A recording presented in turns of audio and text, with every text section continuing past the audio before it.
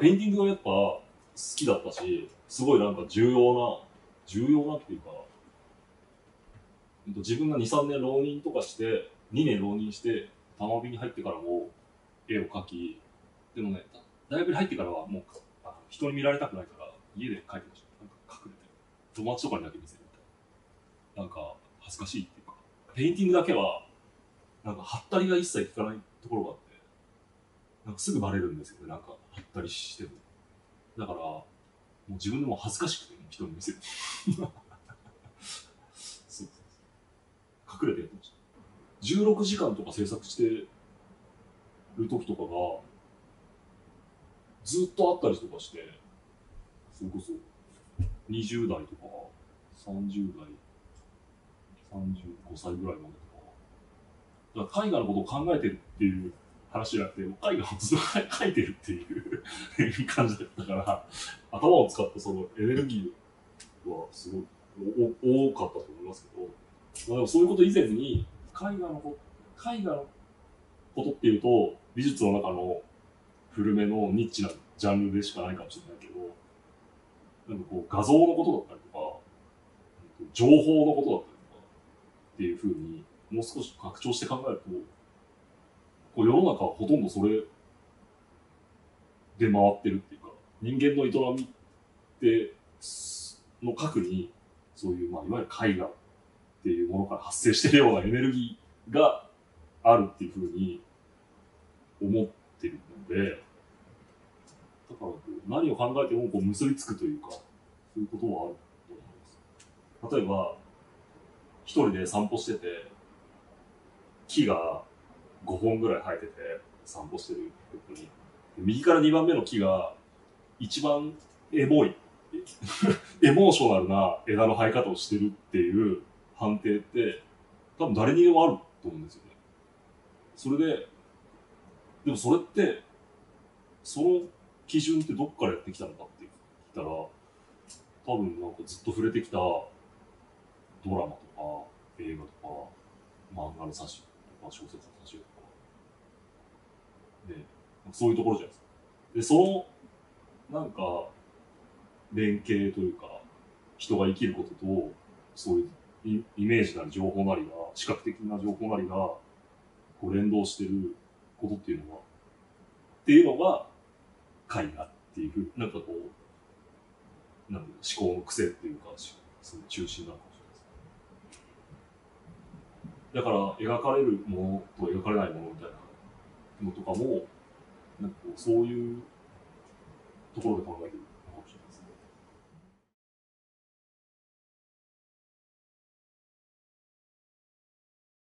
で、そういう理想的なことっていうのは、それを考えると、なんか危ないと思うんですよね。なんか、神と人間の関係みたいなものに関わってくるようなことの気がして、なんかそういう、なんていうかこう、関係を理想化していくみたいなことよりも、何か、もうちょっと低俗だっていうか、フレンドリーな関係性って多様にあるじゃないですか。いろんなものだったり人だったり他者だったりとも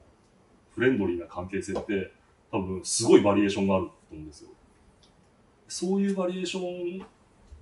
の中でペインティングと鑑賞者なりの関係性みたいなのが新しいのがあるかもなっていう期待感みたいなのはなんか考えたりします、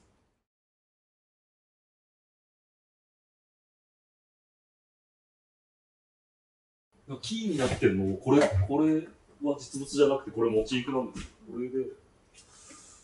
螺旋みたいなのが、割れて2部屋が、長い2部屋があって、亀の道がこう円になってて、で、まあなんかこうぐるぐる回るようになってるじゃないですか。そういう構造でいこうっていうのがあって、でこの構造が、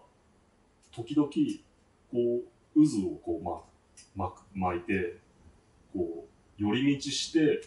渦巻いて、その中心で、なんか行方不明になるみたいな 感じの動線でやりたいっていうのがあったので、だからあの招待券に使った小さいやつが一番こうキーになるかもしれないです。展示の構成っていうことで考えると。で、あの三木富夫の耳のやつが木にぶら下がってた作品があったと思うんですけど、あれは本当の三木富夫さんの作品を借りてきたやつなんですけど、それも、なんか三木富夫さんが生前言ってた、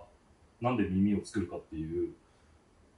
答えの中で、こう螺旋の形が2つ重なる形を耳はしてるっていうふうに言ってたことがあって、それもそこから、これここに置きたいなってのがあったんですよ。もっとさらっと、なんか、やりたいですけど、もうサクッともう終わりみたいな。でそういうタイプのの作家じゃなかったので、今後はどうなるかわかんないですけど、もうすごい思い詰めちゃうんですよね。もうなんか、もう死ぬみたいな。なんか、なんか、それ、そうですね。そうなりがちでした。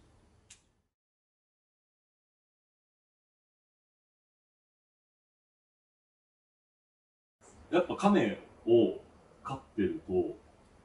飼ってみるまで分かんなかったんですけど、面白いんですよ。あの、ジョジョ、ジョジョの奇妙な冒険で、イタリアのマフィアの話あるじゃないですか。あれで亀の中に空間があって、で、その中で移動するみたいな話出てくるじゃないですか。なんか、ああいう感じで、なんか亀って、なんかこう、亀をこう凝視すると、なんかその時間みたいなのが、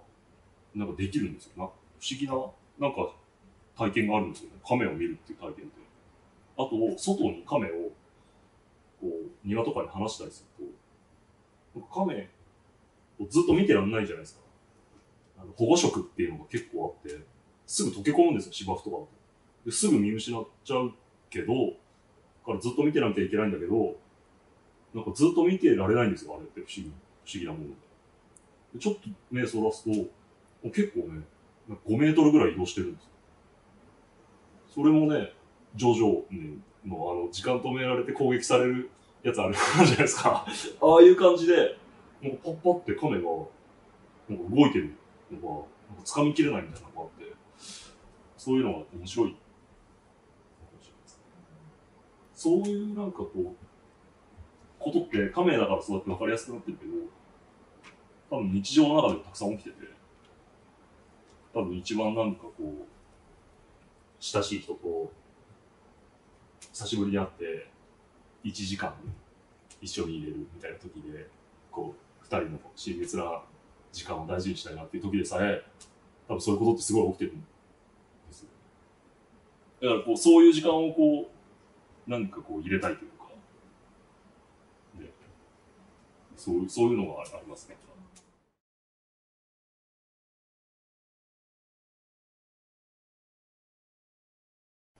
単純に面白いかなと思ったことがほとんどなんですけど、例えばペインティングが1個あって、そのペインティングを説明してるキャプションがあるじゃないですか。でこれがここにもう書いてあればいいのにな、みたいな。みたいな。ね。この音も作品に含まれますって、ペインティングに書いてあったら、いいですよね。もう 言葉ってだからそういう暴力的に簡単に、こう、すごいことも接続できるじゃないですか。その記号みたいなのも、なんか使わないのは変だなと思って。例えば漫画のセリフとかが画面に書き込んであることと、もうやるんだったら、美術館の中での、さっきの監視員の人がこっち見てるみたいな、そういう具具象性みたいな。そういうものもなんかペインティングに書くのが当たり前だろうなというふうにして着想しました。展覧会をやるって時に、監視員の人とかは絶対必要じゃないですか。それで、いろんなこう展覧会というものを成立させる構造みたいなのがいろいろあるじゃないですか。で、それを、なんかもうちょっと際立たせることで、作品っていうのが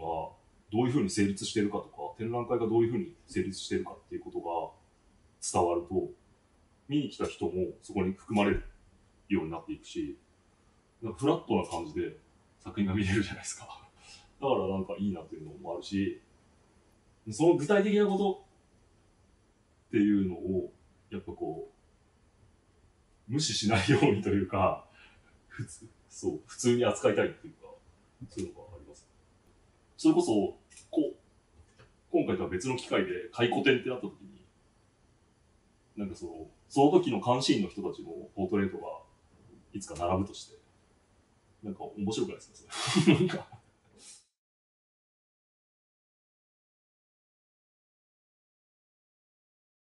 表現すべきことし、すべきではないことっていうところで、表現すべきことを選択すると、表現っていうことが一個のなんていうトピックというか、意見というか、そういう質をこう見てくる。なんかそういう感覚ではなく、なんかもうちょっと、なんか飛距離とか、こう深さとか、そういうところで、なんかこう、遠くに飛ばせそうだったり そういう風に考えてるものを採用することが多くて、ただ時々魔が差すっていうか、例えば SNS とか、そういうんじゃなくても、個人的にすごいムカつくやつがいたとするじゃないですか。信じられないぐらい嫌なことして、されることとか、嫌なこと言われることとかって、生きてたらあるじゃないですか。それで、それを、僕は、の能力は、ペインティングなので、ペインティングという暴力を、暴力として使っ 使って仕返ししたら、ずっと悪口言える。美術というものを使使えば、ずっと悪口言う。だってチャップマンとか、チャップマン兄弟とか、そういうことしてる、そういう作品とかはある？と思うんですけど、ディスみたいな。要するに、ヒップホップでいうところ。そういう風にして美術を使うっていう試みをやってる人は多分いると思うんですけど、そういう風に魔が差しそうになる時はあるけど、そういう時はやっぱ達野さんの言葉を思い出します、ね。そうやってダークサイドに落ちちゃいけないっていうかそう、達野さんにこう、呆れた顔すると思うんですけど、僕はその作品作ったって見せたら、そういうのはやめようと。